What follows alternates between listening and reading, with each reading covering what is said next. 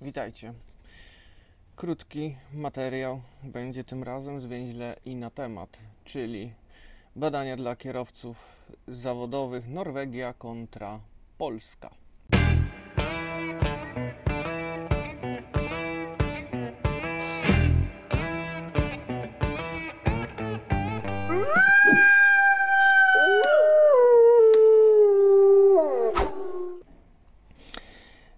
Także w zeszłym tygodniu, w poniedziałek, czy dwa, dwa, dwa, tygodnie temu, e, postanow, to znaczy postanowiłem już wcześniej, ale poszedłem e, sobie zrobić badania na kategorię od C w górę. Nie mam tylko kategorii, kategorii A. Jak e, wszyscy dobrze wiedzą, jak to wygląda w Polsce, ci, którzy nie wiedzą, to się zaraz dowiedzą, to w Polsce badania wyglądają tak, że należy udać się do psychologa psy, na psychotesty. Generalnie tam trzeba spędzić dość dobry czas. Nie są te testy jakieś mega łatwe.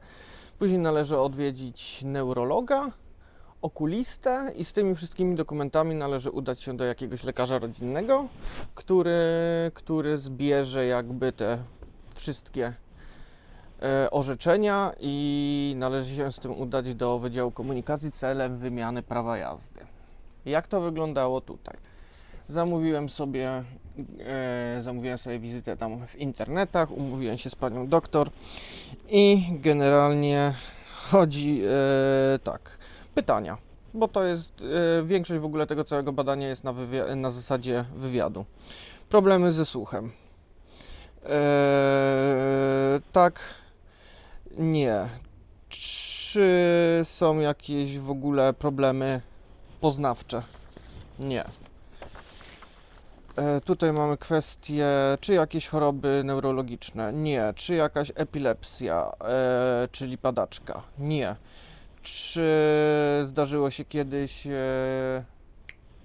problem, problemy ze snem? Choroby serca? Nie. Cukrzyca? Nie. Problemy psychiczne? Nie. Używanie środków, którzy, które mogą wpływać na e, prowadzenie pojazdów. Nie. E, Czy problemy jakieś z oddychaniem, czy problemy jakieś z nerkami, e, inne choroby. I to jest tyle. Następnie jest tablica, z której trzeba przeczytać literki. Generalnie ja wyczytałem, że tak powiem, na bez korekcji na 1,25 jakieś jednostki, być może dioptrii albo, albo, albo czegoś, czyli to był ten najmniejszy tekst na tablicy, e, który generalnie nie był nawet, nawet obowiązkowy, e, ale zaczęliśmy, że tak powiem, od tego. I jeszcze co? Badanie, badanie pola, pola widzenia należało popatrzeć pani doktor głęboko w oczy, a ona robiła tutaj takie dziwne operacje i patrząc jej w oczy, czy- w oczy trzeba było pokazać, czy rusza palcami. Tutaj, tutaj, tutaj, tutaj i to jest tyle.